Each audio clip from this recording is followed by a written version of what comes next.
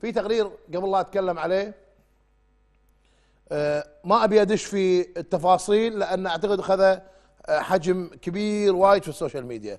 موضوع اللي حصل في آه، موضوع المحاجر اللي موجودة في شبد أو في المدارس والفيديوهات اللي انتشرت.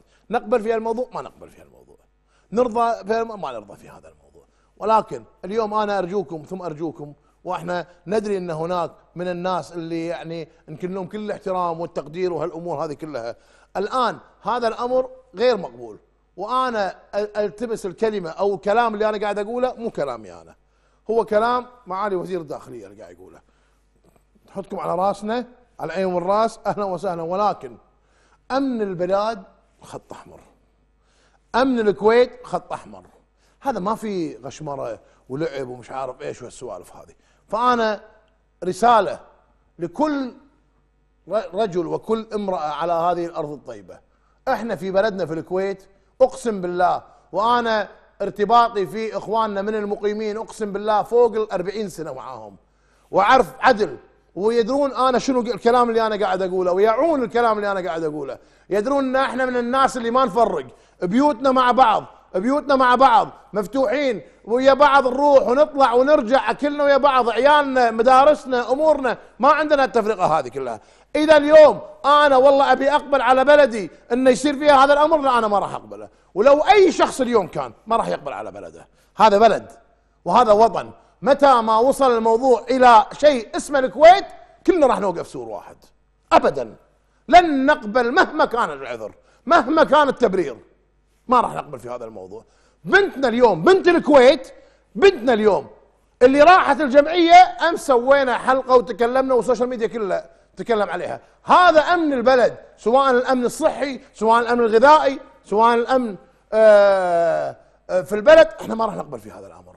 وهذا الكلام اللي قاله معالي وزير الداخلية وحقيقة يمكن هذه الكلمة هي بردت قلوب الكويتيين. فأنا أرجوكم لا ناخذ الموضوع أكبر من حجمه. انتهى الموضوع. تمت السيطرة على الموضوع. انتهى. تدخلوا الإخوان في وزارة الداخلية وتعاملوا في هذا الأمر. وطلع معالي وزير الداخلية مشكورا.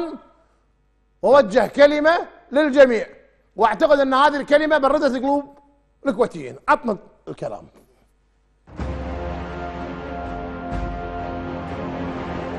جاتنا رسائل رسمية بالاعداد لرحلات متتالية. لنقل إخواننا وضيوفنا المصريين. بس حركة واحدة تأثر بالأمن لا تعتقدون بنكون واقفين مكتوفين الأيدي. على كثر ما نعزكم ونحكم الأمن خط احمر أنا أكلمكم وأكلم إخوانكم اللي في كذلك في المراكز الايواء الأخرى. ما راح نسمح بأي نوع من أنواع مظاهر الشغب. لكن أكرر لكن وحدها خطين. أتمنى منكم الحكمة. الحكمة معهودة فيكم. إذا ما لقينا الحكمة راح نضطر نوجد الحكمة. لا تضطرونا كوزارة داخلية نتعامل بعنف عشان نحبط الأمن. أمنكم أنتم مسؤوليتنا. الشغب قاعد تأثرون على الآخرين. في منكم مثل الشيخ وآخرين قاعد يحاولون يهدون وياكلون ويصلون ينتظرون رحلتهم يشوفون أبنائهم. حقكم من تجار الإقامات أنا أجيبه. لكن حق الأمن أنا مسؤول عنه.